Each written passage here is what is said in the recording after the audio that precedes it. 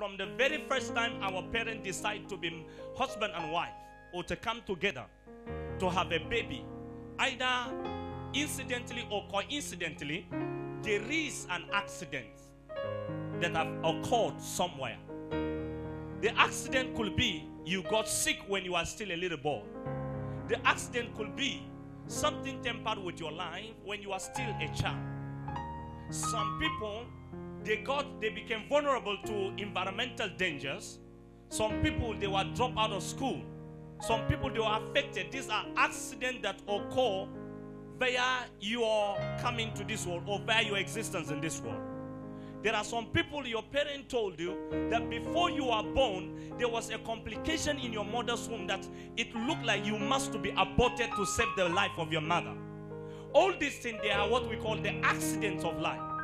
And therefore, what actually brought about these things, they are done or they happen because the very first day you are conceived in your mother's womb, two spirits ran after you. Are you with me, child of God? Two spirits ran after your formation. Mind you, we were blood before we became human beings. And that is why they will tell you you are, the, you, you are from this bloodline. You are from this bloodline and they begin to describe your forefathers or your parental uh, uh, lineage. Ladies and gentlemen, what everybody must be very sensitive to which voice has passed across your bloodline, which voice has become authoritative over your bloodline, which voice is speaking today over your existence today. Which voice today is manipulating you? Which voice today that is speaking in the blood that today you feel something is talking within you, but you don't know the source of it, you don't know who did it, you don't know who said it, you don't know how it is happening. You must trace it today. How many of you you have felt at a moment something is wrong in my father's house? But you cannot really figure it out what is actually wrong. People are not getting married. People are not getting job. People are not forward, forward in their education. People are not getting uh, what they're supposed to be. You made yourself and compare yourself and look at the neighborhood. You see people are getting access to destiny, but in your family something is wrong. You know in within you something is wrong, but you don't know what is the source of it. It's a demonic prophecy. Demonic prophecies, they are labeled in the blood demonic prophecies, they are labeled on the blood. And so the blood is the most peculiar thing in the human existence. And that is why, if you read the Bible, you will discover that God Himself warned us not to eat blood. Because He categorized blood as the life of a person. But for the demons to work against you, they have to use the bloodline. If a demon is working in your family, he does not only come just as a demon, he mark the bloodline. Every curse that somebody will curse anyone must first drop on the blood. Because on the blood, covenant is validated. Are you with me, somebody? Therefore, you need to understand what actually has persisted in your genealogy? What are the frames and the picture that you have traced either seven generation behind or seven people within the family right now? If you are seven in number in your family, take a statistic of the four first people. What is wrong with them? If it show a similarity, it means there's a blood curse in the family. If you are seven and three or two have been dropped out of school, it means there's a curse that has to do with education. Oh, you are not even responding. I'm, I'm doing this. I'm doing this because of the ability of the prophetic. Now, before I go further, can I tell you my story? Can I tell you my story? Now, I told you I was born a prophet. I was born a prophet birth, from the story of my birth, I was a prophet. But do you know, it do not matter whether I was born a prophet or not. There was a problem in my bloodline. God doesn't care. God doesn't care who you are. A law of birth is a law of birth. That is why Jesus had to come through the tribe of Judah. Because it's that bloodline that was selected. He should have, he should have come through at the time, Levi and uh, Simeon, Gad, and whatever you have. But he came through what? Judah. Why? Because there was a word that came upon the blood of Judah. And so, even when the testimony of the birth of Jesus Christ was supposed to be diverted to other tribe, it still had to linger to come through Judah. Number one, you should know Ruth was a Moabite. Ruth was a Moabite. But the trace of the birth of Jesus Christ is in conjunction with her motherhood. She had to leave.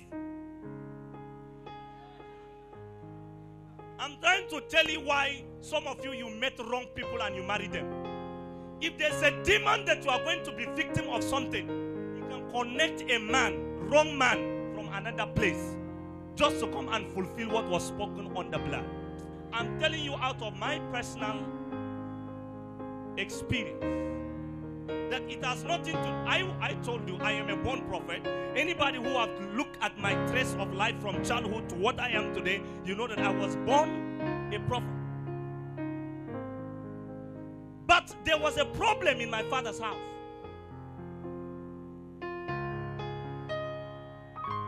There was a problem. What is the problem? Polygamy.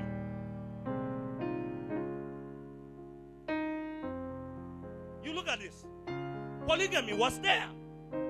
I think this subject the whole the whole world Christians need to know. So that when you battle your enemy, you don't start battling them outside the circumference. You battle them within the blood. I want to tell you, everybody seated here has a trace of polygamy.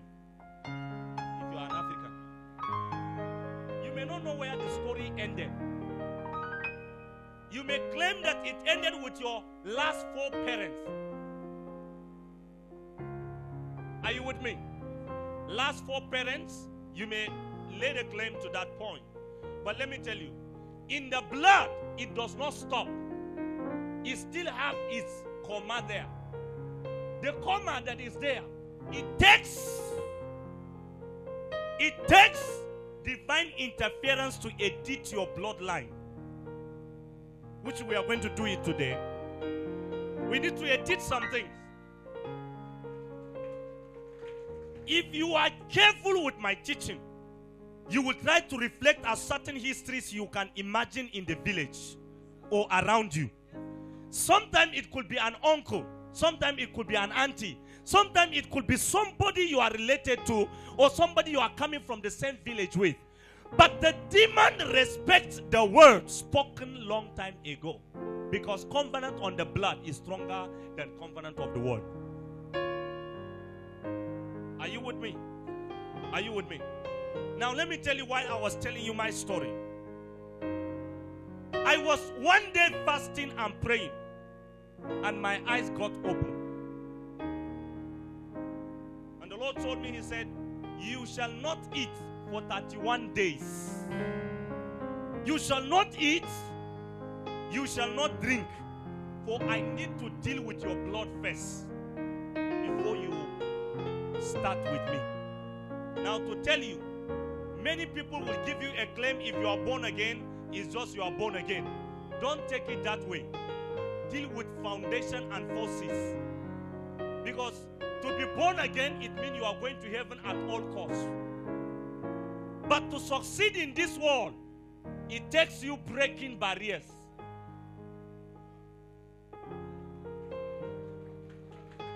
Are you with me? In this world, it's all about what? Breaking barriers. Because everybody seated here, there is at one point or the other barrier. What is barrier? To barricades. What is barrier? To block. What is barrier? To raise a standard. Your intention is to be across, but you are placed on the side.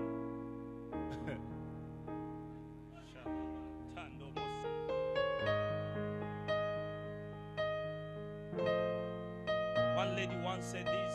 She looked at me and said, You, I don't know the kind of human being you are. Said, What is it? He said, I don't understand you. Why will you understand me? If you understand me, I will also fall. The day Delilah understood Samson, that was the day Samson fell. So now the angel who spoke to me said, 31 days thou shalt not eat, thou shalt not drink, because I have an assignment for you. But this assignment, you must first have a dealing that has to do with the bloodline. If not, you will go up and one day you will come down. Because you are the platform to which God manifests his work in. After God dealt with me, showed me the kind of poverty my family was uh, uh, stricken with. Show me the kind of troubles that went on in that lineage. Show me the kind of thing that happened. It was not too long after then, my father told me something. He said to me, He said, You are leaving school, you are coming back to take care of the sheep and all other stuff at home. You will leave school. Then I knew what the angel was speaking to me is true. Where? Come back home. You see, it's not my father speaking, the blood speaking. What God did was to reveal to me the bloodline. Tell your neighbor, exposing the bloodline is the solution. So at that particular moment, ladies and gentlemen, at that particular moment, after the Lord revealed to me all this, I now saw also alcohol in the lineage. Drunkenness was there. Divorce was there. Unfaithfulness was there. Mention many that you can mention. They were there as a suitcase. The Lord said to me, He said, I must first deal with this. And for me to deal with this problem, you must not eat, you must not drink. Why is God asking me to do that? It is when your body is weak, the spirit will have access to it. Because the Bible says, before Adama came out of Adam, Adam have to sleep. Other way around, it could be fasting. Adam went into what? Spiritual anesthesia. Ascetic performance came upon his life and he slept. When he woke up, what did he see? He saw the flesh of his flesh and the bone of his bone. That means when the Holy Spirit walk on your bloodline, walk on your bloodline, walk on your paternal and maternal bloodline, ladies and gentlemen, it will come out with a result that, that, that will be satisfactory to help you to reach your destiny. Many of us, we are crying over something that we are supposed to be out of it for a long time. We can come out of it. The problem may not be your immediate father, maybe your last father, maybe the last of that father, because curses can run through four to one to four generations. It can operate. Are you hearing what I'm saying? Are you hearing what I'm saying? Am I talking to somebody? All right. Now look here. Now, before we go towards this, you need to know that before you can fight this thing, you also need to know what you are fighting for or after. You don't know your enemy, you cannot win your enemy.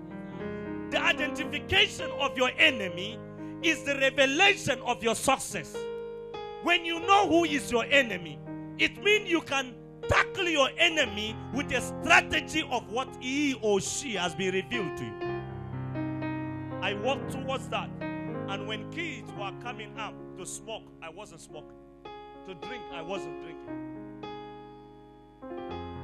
Go after ladies, I wasn't going. Genesis chapter 49.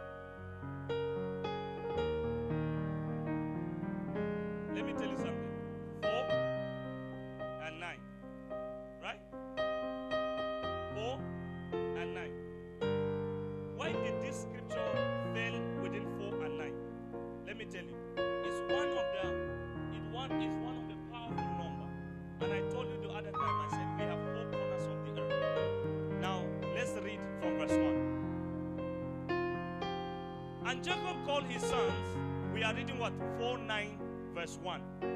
And Jacob called his sons and said, Gather together, that I may tell you what shall befall you.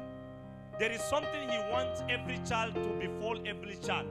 He wants to split the blood according to his word. He wants to dictate to the line of the blood according to what? His word. Now, this is not God speaking. This is Jacob speaking. This is a prophecy. If I say it shall be well with you, I have spoke to the blood to receive wellness. Now look at what he said. Gather yourself together. Why? Not that people, I will show you how prophecy.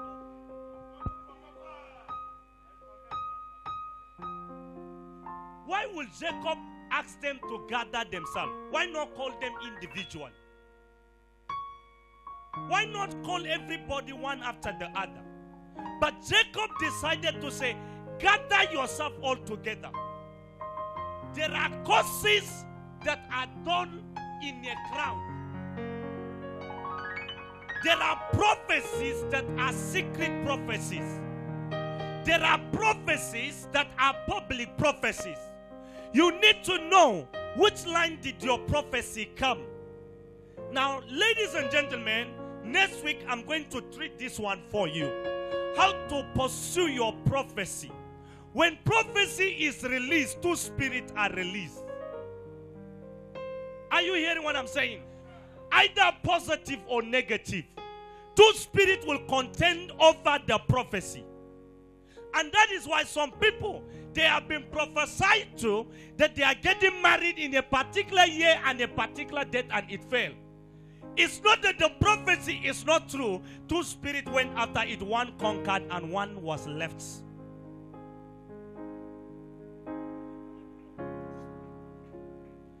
Gather yourself together and hear, you sons of Jacob, and hearken to Israel your father. What is this word hearken?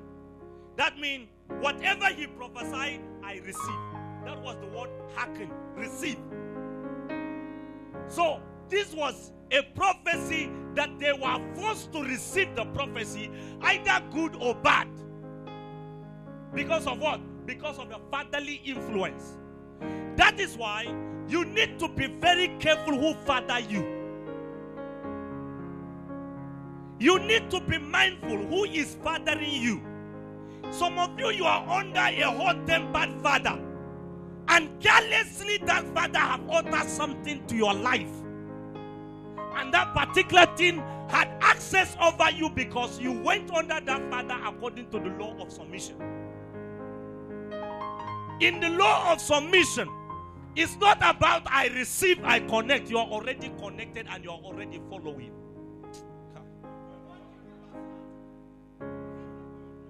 I don't know whether I'm, am I really talking to you.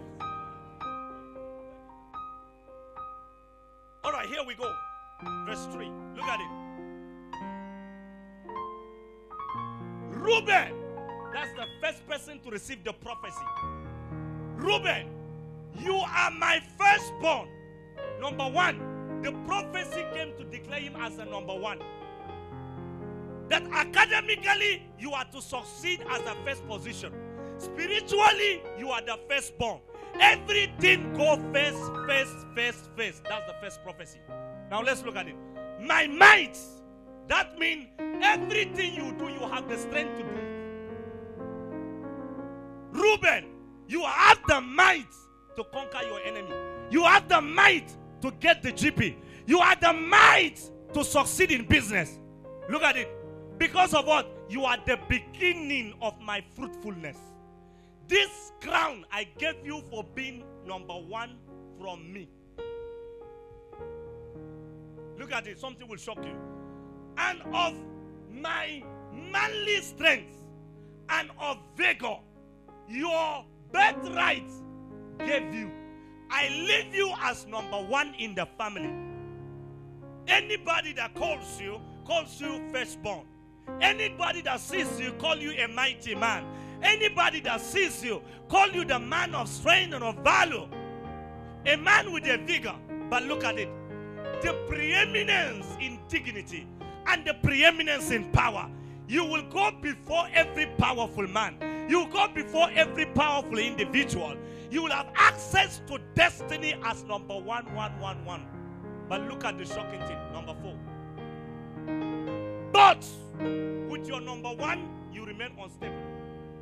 That's the cause. Be careful with what comes over you.